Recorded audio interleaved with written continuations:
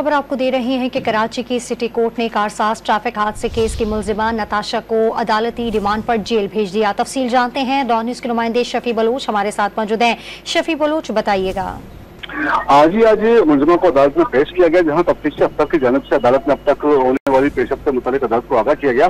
और अदालत को बताया गया कि इस मुकदमे में जो है वो तीन सौ बाईस की दफ़ा के का इजाफा किया गया है और इससे कबल जो मुकदमा दर्ज किया गया था, वो काबिल समाज दफात लगाई गई थी, लेकिन आज जो है वो इसमें तीन सौ बाईस का जो है वो इजाफा किया गया है और जिसके मुताबिक जो है अब ये दिफा जो है वो, ये मुकदमा नाकाबिल समात है और तफ्तीश अफसर की जानब से अदालत से मुलजमा की चौदह रोजा जिसमानी रिमांड की इस्तः की गई और ये मौके पर इख्तियार किया गया कि इस मुकदमे में मजीद तफ्तीश करनी है मजीद शवायद भी इकट्ठे करने हैं और इस मुकदमे के हवाले से सीसीटीवी फुटेज के हवाले से भी अदालत के डायरेक्शन मौजूद है।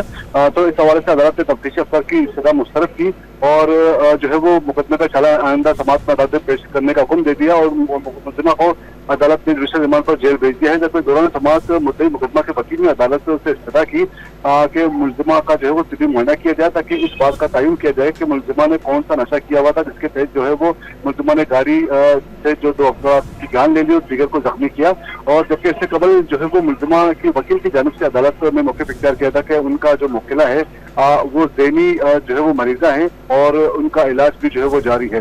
इस पर अदालत ने तरफेन के दराज सुनने के बाद जो है वो मुलजमा को जुडिशल रिमांड पर जेल भेज दिया है और आइंदा समाज में मुकदमे की मजीद तफ्तीशी रिपोर्ट के हवाले से तफ्तीश इसकी रिपोर्ट तलब करनी है। सिटी कोर्ट ने मुलजिमा नताशा को अदालत रिमांड पर जेल भेज दिया। तफसील अपडेट करते शफी बलूच। आपका बहुत शुक्रिया।